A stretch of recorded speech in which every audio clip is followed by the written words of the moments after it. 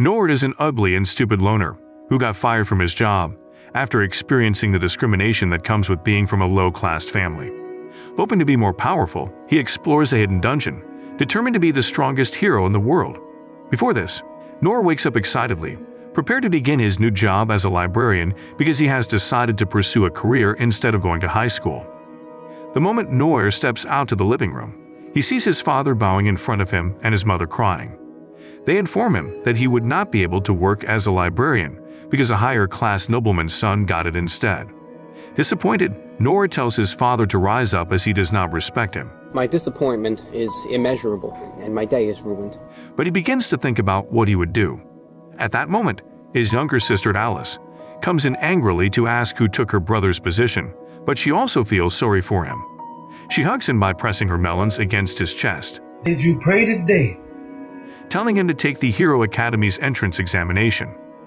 Nor thinks about his sister's suggestion and tells her that a lowlife like himself would not be able to pass. Hearing this, Alice encourages him to go for the exam and promises to take care of him even if he fails. Later, having accepted to go for the examination, Nora leaves the house. As he walks through the streets, he suddenly hears his name. Looking back, all he sees are two huge cannons coming his way. He realizes these beauties belong to his childhood friend, Emma. Even though Emma was born into a higher noble class, their families have been friends. When Emma catches up with Nor, she tells him how excited she is for them to both start their work as a librarian. However, when Nora breaks the news to her, she becomes angry and disappointed. He sees how her mood changes and tries to cheer her up. Then she tells him of the good news she has on how he would be able to use his skill. Hearing this, Nora recounts how only his skill is the Great Sage skill, which allows him to know few things about the present and the future, as he has an access to ask the Great Sage any question. However, Nor is not able to use the power because, after summoning the Great Sage, he would have a huge headache, which would make him wish for death. But Emma tells him she found a passage which states that anytime the Great Sage of old get a terrible headache from his skill, he would demand kisses from his wives. Hearing this, Nora becomes confused, but Emma tells him it must be the way the old sage avoided the headaches caused by his skill then she also asks him if he wants to try it, and he agrees. Emma suggests they go to a private place to try it, and soon they go to a secluded place, and on getting there, they kiss. Yep. During this moment, Noah uses his skill to ask the great sage how he can become stronger to pass the entrance exam, and the sage tells him to explore a hidden dungeon not far from him, and he would be able to defeat some monsters to get strong. After using his skill, Nora gets the headache as usual and suddenly kisses Emma. She becomes embarrassed, but he continues to kiss her, with the excuse that his headache is not gone yet. Nora looks for the dungeon and goes there alone, and with the help of the spell given to him by the great sage, he is able to enter the dungeon. Inside, he suddenly hears a voice that continues to direct him to the second floor, where he sees a lady tied down with chains with her eyes closed. Nora looks at the lady who has beautiful rice cakes, he becomes scared but realizes that she is the owner of the voice that has been directing him. There, she tells him to touch her forehead, which when he does, he is able to look into her past where she introduces herself as Olivia and explains how she got trapped with the chains while trying to conquer the dungeon. She also tells him that the chains are cursed and if anyone tries to remove the chains from her body, she would die. Also, she adds that she has been stuck in the dungeon for 200 years, without thinking she would be able to see someone who would hear and talk to her. She asks about what he is doing in the dungeon, and when he explains why he needs to be stronger, she promises to give him her skill, because she would not be using it anyways. Then she tells him to place his forehead on hers so as to pass him her skills, which he did, leading his mind to be at peace. Olivia tells him to address her as his master, and explains that he now has a creative skill, a bestow skill and an editor skill, which he can use to create, take or remove anything he wishes to, whether on himself or on another person. Oh my god!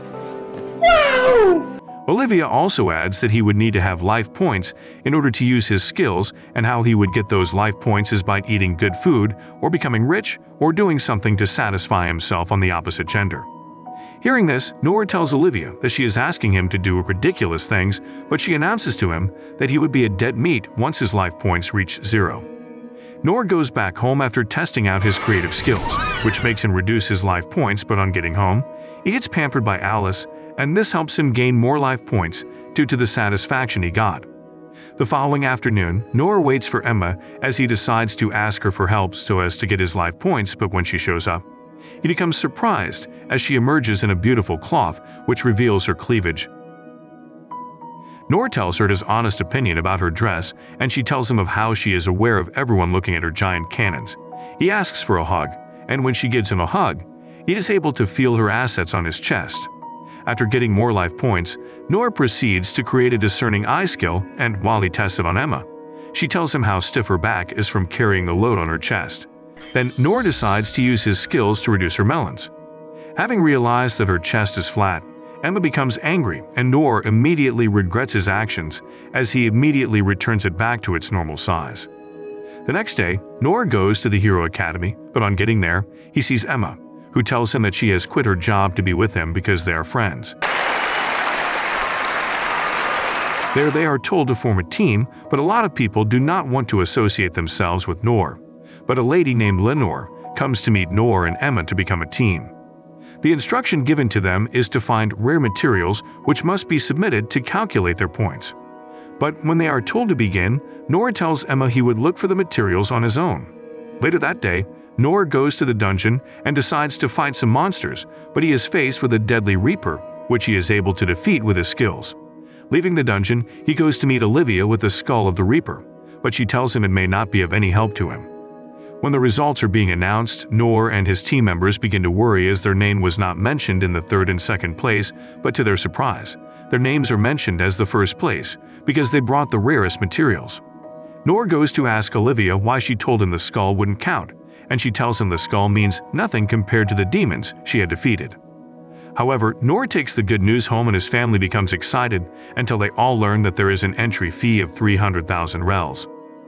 Hearing the good news, Alice jumps on Noor as she tells him that she wants to get some of his luck, but Noor tells his family about the fee and they are to pay it within a week. Noor's father begins to cry as he tells Noor that he would not be able to provide the money, but Noor assures them that he would get the money. Noor goes to the dungeon to tell Olivia about the money, and she suggests that he fights more monsters, and sell the rare materials, but Noor dismisses the idea as he tells her he does not want to attract more attention to himself after the entrance examination. He also tells her how he told Lenore to take credit for killing the Reaper as people would not believe that he was the one who killed it. Hearing this, Olivia advises that he should go work at the Adventurers Guild button. Getting to the guild, Nor becomes intimidated by a huge man at first, but he is saved by the attendant of the guild named Lola. Nor begins to look at Lola as he admires her privileged white skin and her huge melons, but Lola asks him if it is his first time at the guild. Lola begins to explain how the Adventurers Guild works and also tells him that he has to register by putting down his skills in a form, but Noor is so excited as he wonders why Lola smells so good.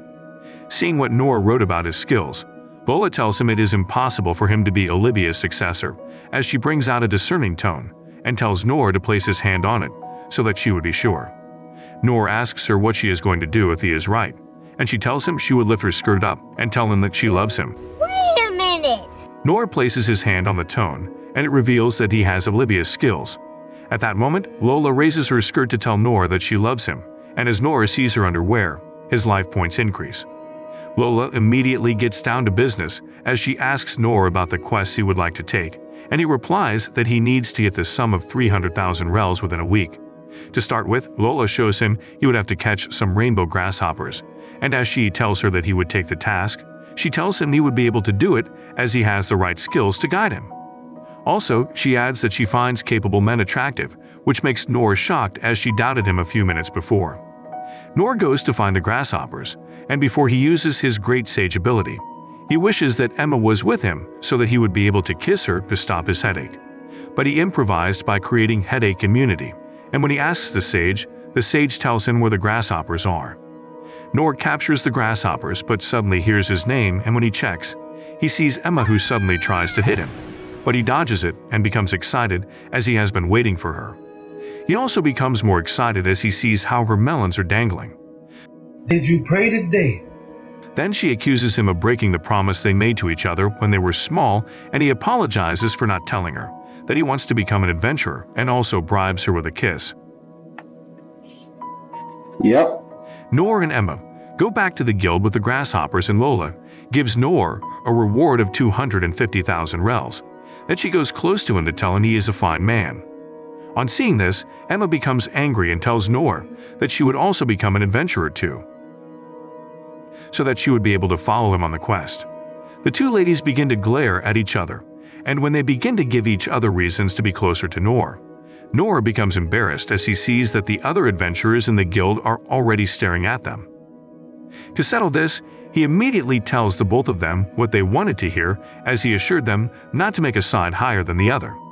The ladies sit and Lola tells Noor that they should have dinner later but Emma gets angry as she yells at Lola for trying to seduce Noor in her presence. Later that day, Emma and Noor set out to go and capture the huge monster-sized rabbit. On their way, Emma advises Noor to stay away from Lola, as she is planning to dissect him. The two friends are suddenly attacked by goblins, and as Emma tries to defeat them, the goblins get killed by the huge rabbit monster and Emma tells Noor not to worry as she would make sure she defeats the monster because Lola would be all over him if he does all of the work. Emma uses all of her powers to try to defeat the rabbit, but realizes that she is unable to defeat it. Then Noor immediately distracts the rabbit while he takes Emma into hiding. Noor decides to use his powers to upgrade Emma's powers, but realizes that he does not have enough life points to do so. Then he asks Emma if he can nibble on her ear. Emma agrees, and as Noor begins to suck on her ears, she becomes uncomfortable and begins to make happy noises, and the noises attract the attention of the huge rabbit to where they are hiding. Noor hurries up to get enough life points and upgrades Emma's skills, enabling them to defeat the huge rabbit. Back at the guild, Nor reports that Emma took down the huge rabbit on her own, while Emma thanks Lola for giving her the opportunity to embark on the quest with Nor. That Nor announces that he has used his skills to teleport the dead rabbit, so that they would be able to eat it. The meat is however shared with the other adventurers as they throw a party on behalf of Nor, and when Lola gives him his payment, he is told to give a speech. After the speech, Nor tells himself he needs to thank Olivia for helping him. Fortunately, Noor and Emma are able to pay their enrollment fee and they both enter the academy but while they talk about how their lives would change, the daughter of Duke Albert, Maria, passes in front of them and Emma immediately tells Noor to bow his head while she passes. Noor asks Emma who she is and after being told that she is the daughter of the Duke, Noor decides to use his discerning eyes to check her skills.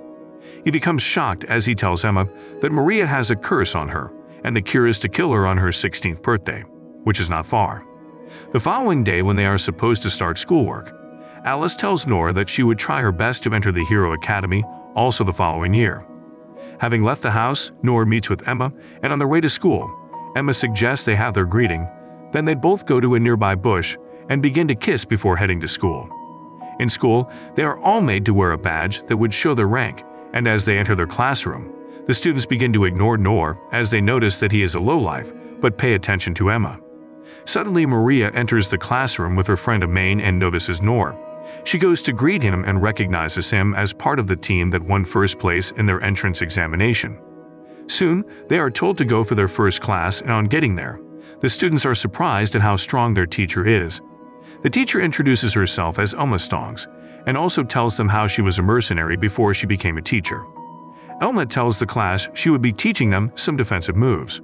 She picks Noor to show them an example of what she wants to teach them and tells him to try to attack her with his sword, but Noor becomes reluctant, and she tells him that he would not be able to scratch her. Hearing this, Noor uses his discerning eyes on her and sees that she is at level 332 which makes her very strong. Noor immediately draws his sword, and before he is able to attack Elma, she immediately uses a skill to move away from Noor so as to avoid his attack. She calls the technique the backstep, that she tells Nord that she would try to attack him, and he should use the same technique she used. Scared, Nord tells her how strong she is, and she tells him how to avoid her. But while he is still thinking about what to do, she immediately attacks him, hitting him hard and making him fall down. Noor begins to cry because he is hurt, which makes Elma heals him and tells him to try it again. Then she tells the class that she would give anybody who is able to avoid her attack a prize they are sure to enjoy. However, Nor stands up and when Elma tries to attack him again, he is able to do the back step. Since he won her, Elma gives him the prize as promised and suddenly sits on his belly while rubbing her rice cakes over his mini sausage. Seeing this, the male students become jealous that Nor is having the time of his life, but Nor becomes uncomfortable as he yells in pain.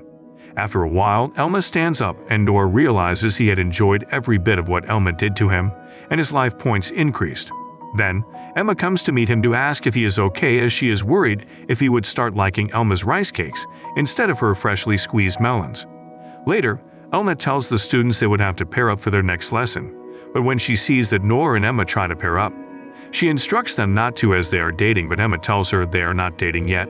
Wait a minute! Elma also tells Maria and Amain not to pair up, which makes Maria go to meet Noor to be partners and Emma who is paired with Amain becomes scared, as she notices that Maria is getting close to Noor. Elma tells them to throw off each other and Noor tells Maria to throw him off first, but he immediately creates a skill to make her do well and when she throws him off, she suddenly becomes weak and falls down making Noor stick his head in between her melons. Amain sees this and they immediately carry Maria out of the training ground. Then, Noor uses his discerning eyes to check and sees that the curse is the one affecting her, and he begins to wonder if he can use his skills to edit the curse, but he sees that he would need 8,000 life points to do so. Then, he immediately uses the Great Sage skill to ask how he can get enough life points. The Great Sage tells him to line up all the girls and he should start touching your melons one after the other, and if he is able to touch all of them, he would get 2,000 life points. Nor begins to have a huge headache, as he thinks that he would not be able to get the life points that way, but he goes to meet Emma and tells her that they should do their greeting, but when she tries to tell him how embarrassing it would be for them, Nor immediately kisses her. At that moment, Elma meets them and asks them if they know that they are in school. Yep. She immediately begins to chase Nor as she tells him to run 15 laps around the school. After school, Noor and Emma go to the Adventurers Guild but on getting there, Lola immediately runs away the moment she sees Noor and the second attendant, tells them that she went to fix her makeup because she was not expecting to see Noor. Noor talks to Lola about the curse and how he is planning to help Maria. She then tells him that she has a friend who is a cleric named Luna, but tells him that she does not know why Luna is hiding. There, Noor tells himself that he would use his skills to get rid of Luna's issues so that she would be able to heal Maria. Noor immediately stands up and he begs Lola to introduce him to the cleric, so that they would be able to save Maria before the following week, because that is the day she is supposed to die according to the curse. In the next video, we'll see how Noor gained some new and impressive powers. Also, he meets Lola and Luna, who end up changing his life yet providing him with more huge melons to feed on.